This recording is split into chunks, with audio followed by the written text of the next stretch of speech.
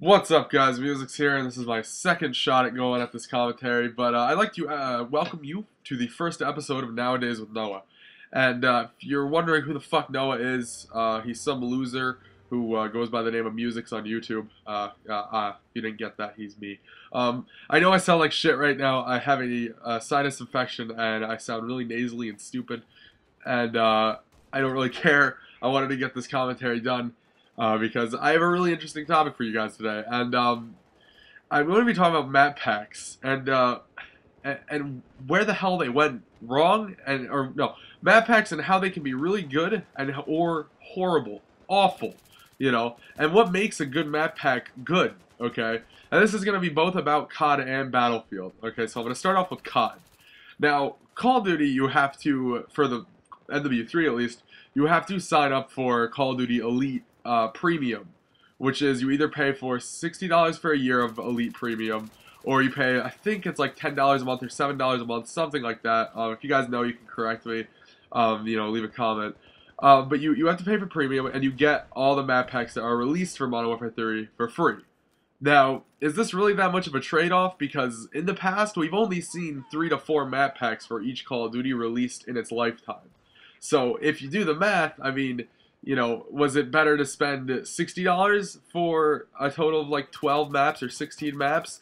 Or is it better just to spend, you know, $15 for like uh, each map? And I don't know if I fucked my numbers up. I don't know if I said 15 twice, but whatever. Um, um, and then, you know, it, you get, and a lot of times the map packs are repeats of previous Call of Duty maps. Now, we didn't have that in um, well, luckily we didn't have that in Black Ops. We saw new maps every time. We did not, from what I remember, we did not see any repeats. Um, I think we saw repeats in zombie maps. I'm pretty sure, but I'm not 100% um, on that one.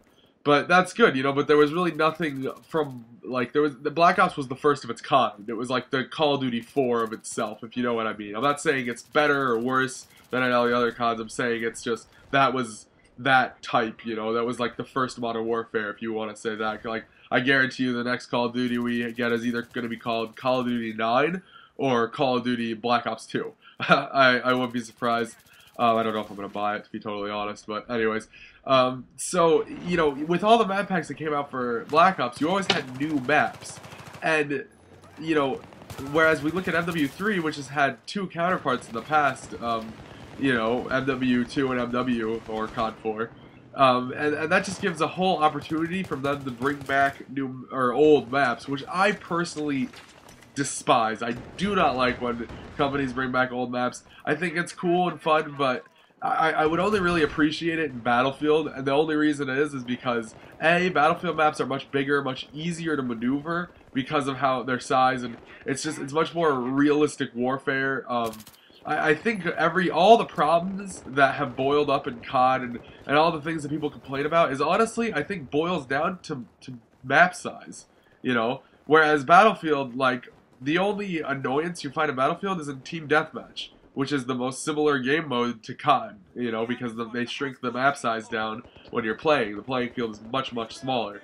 So you get much more annoyed. You know, spawn locations aren't great at all in Team Deathmatch and Battlefield.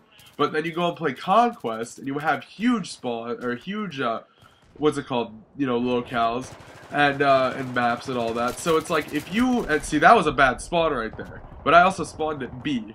Now, I have a choice to spawn wherever I want to in Battlefield, obviously, as you guys know. Whereas COD, you don't. So, so there's no excuse for why the spawn system is shitty in COD. Whereas Battlefield, it's like, I chose to spawn there, there was a guy there, whatever. You know, so what? Same thing if you spawn on a teammate, there'll be a guy there. That's your own fault, you know. Um, but back to the topic at hand, I only like Battlefield maps that are brought. I only like maps. Like, ah, I'm sorry, I'm fucking my wording up horribly. The only maps that I like that are old and brought back are from Battlefield. Okay, and the reason is a, especially with Battlefield 3, you have the updated Frostbite 2 engine. It's beautiful. It's amazing uh, and put in almost any map ever made for any first-person shooter, uh, it would look amazing. So I mean, you have that aspect, especially with Back to Karkand, which uh, is coming out on next Tuesday, December 13th, for P Xbox 360 and PC. Uh, it already came out for PS3, but whatever. That's another story. Um, but you know, you have that, and you look at some of the maps from Battlefield 2, like Strike at Karkand and uh, Gulf of Oman and all that, and they're just like, oh wow, like the changes that they went through. Whereas COD, like I heard that they might be bringing back Terminal, and like, what can you do? Like COD doesn't have an updated engine. Okay, COD doesn't have like new animations. COD only has the it's a, it, it, COD is the same game with a different paint on it. It's all it is every single time. It's a different you know HUD barely. I mean, and if you're gonna think this commentary is to shit on COD, you may be right because I. I bought Call of Duty, you know, and I was gonna use a gameplay from it to do this commentary, but you know, I thought to myself, and I was just like, I, I'm not gonna like subdue my viewers to that. Like, I'm not a Battlefield. Well, some say I'm a Battlefield elitist, but I'm not a Battlefield elitist because COD. I do love COD 4. Um, you know, and, and MW3 is fun and all, but in all honesty, it's really no different from any other COD we played. And you know, I'm sure some people really like that. Some people don't like change too too much. But personally, if you're gonna charge, if I'm gonna pay 60 bucks for a new game, I want it to be just that new. I don't want this exact same copy of the previous game with like new maps, and I feel like that's all they've done.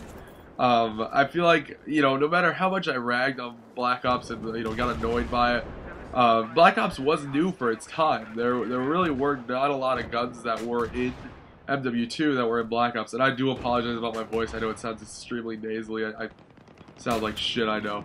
Me and my friend were just fucking around here, by the way. But um, you know, I, I think that it's just the same. COD is like like Call of Duty Black Ops. I'm sorry, I got off track. Is like was the new game of its Call of Duty, you know, predecessors. You know, it, it was new. It was it was fresh. You know, there were new guns. There was new ideas, like with the cam, you know, new camos, the, the currency system. Whereas uh, you look at MW3 and it's like, all right, you unlock this gun at this level, and, and then what's up with 80 levels? I, am sorry, I wanted to play a first-person shooter, not you know waste 40 years of my life getting to level 80. Like, damn it, it, I mean, it doesn't take that long, but it's just irritating. Like, it's it's unnecessarily long. I think 80 is really pushing the boundaries for a level cap. You know, I, I personally think that a level cap, a good level cap, is between 50 and and like 65. Between there, you know, Battlefield's level cap is 45. Uh, that's when you stop unlocking things, but you still level up uh, as a commander. Like you, you could be like level 46, but it'll have like the same emblem um, as 45, just with a little one under it, like next to your rank. Um, so it, that's cool. You know, it kills the game's replayability a little bit, but there's also going to be three times as much DLC for Battlefield 3 as there was for Bad Company 2. So that's insane. I mean, especially like at, Battlefield 3, like Back to Karkand has not only just re-imaged like old maps and then brought them back whenever you can play them, have fun. They are bringing back 10 new weapons that you unlock through chal or assignments, which is completely new. You know, that has not been in Battlefield at all, the assignments at least. You know, you have to get this many kills with this and then do the this, you know, X amount of times to unlock this gun. I think that's awesome. You know, I know for one of the guns you have to get 10 repairs and then get one kill with the repair tool. And it's uh it's an engineer MP5, I believe. Um, I believe in that game it's called the HK45 or something, Heckler and Koch uh, 45 caliber or something like that. I I don't know too much about uh, actual gun names and stuff like that, but um, you know I just, I just think that's so cool, and like the fact that they're just adding 10 new weapons that can be used in uh, in multiplayer any map, like in the base game of Call of, or wow, oh my god, that was horrible. It was called Battlefield Call of Duty. Sorry about that. Um, you know, they can be used in the base game of Battlefield 3, which is just sweet as hell. Um, all four maps are being put into the map rotation, which, if you had Vietnam in Back to Karkand, is very new. Um, for those of you who know, you had to select Vietnam from the main menu, and uh, you would enter it through there. It was like a separate multiplayer almost.